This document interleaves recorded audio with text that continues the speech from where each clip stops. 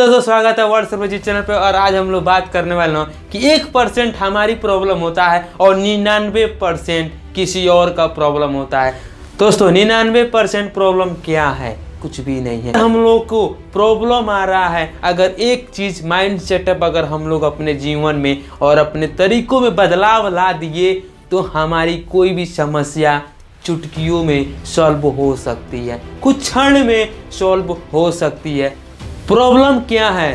Problem किसी का पैसे का है, किसी के ज़मीन का है, किसी का कार है, किसी का अदर लोगों से। प्रॉब्लम है। जो आप सॉल्व करना चाहते हैं, पर एक गलती आप कर देते हैं। प्रॉब्लम वहीं पे सॉल्व हो सकता था, पर आप प्रॉब्लम वहीं सॉल्व न करके कुछ क्षण, कुछ दिन आप उनसे समय लेके, वो तो दुखी रहता ही रहता है।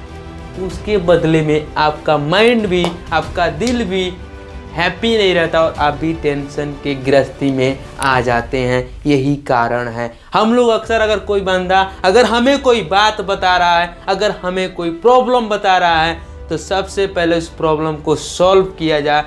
वहीं पे तत्काल अगर घर में अगर कोई सांप निकल जाए तो हम लोग तत्काल उसका सिर कुछ कुचल डालते हैं। वैसे ही हमारी प्रॉब्लम है। अगर जैसे ही कोई प्रॉब्लम आए, उसका फेस करिए और वहीं पे उसको सॉल्व कर दीजिए। तब देखिए अपने जीवन में कैसे आनंद होता है। और आपका एक परसेंट टेंशन कुछ नहीं मायने रखता है। हर व्यक्ति के पास जो करोड़पति है, जो रोडपति है, उसके पास भी ये प्रॉब्लम रहता है। अगर एक परसेंट प्रॉब्लम हर इंसान के पास भगवान बना दिए हैं, कि एक परसेंट आपके पास प्रॉब्लम हमेशा ही रहेगा। चाहे आप अमीर भी क्यों ना हो जाए, इस दुनिया में पूरा राज ही क्यों ना कर लें, फिर भी आपके पास एक परसेंट परेशानियाँ, एक परसेंट प्रॉब्लम आपके पास रहेगा ही रहेगा।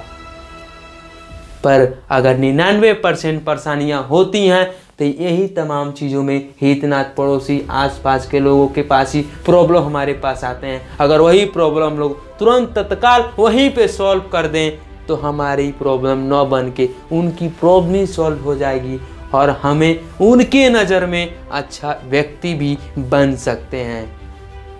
तो ऐसा ही करिए और प्रॉब्लम कोई बड़ी नहीं होती प्रॉब्लम छोटी सी ही होती है। बस हमें उस प्रॉब्लम को अपने अंदर जगह दे देते हैं। वो प्रॉब्लम हमारे अंदर जगह बना के एक बड़ा सा घर बना लेता है, जो घर को तोड़ना इम्पॉसिबल होता है हमारे लिए।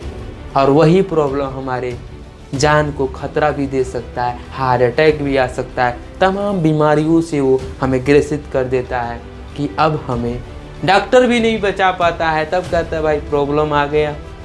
तो ऐसे बचना बिल्कुल ज़रूरी है। अगर आपके घर में भी कोई प्रॉब्लम आ रहा है तो सबसे पहले वहीं पे सॉल्व करना। उचित समझिए, न कि उसे कुछ दिन दीजिए। अगर दिन दिए, तमाम हो गए। अगर दिन नहीं दिए तो प्रॉब्लम समाप्त हो जाए।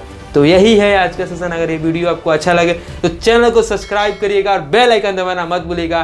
तब तक के लिए जय हिंद।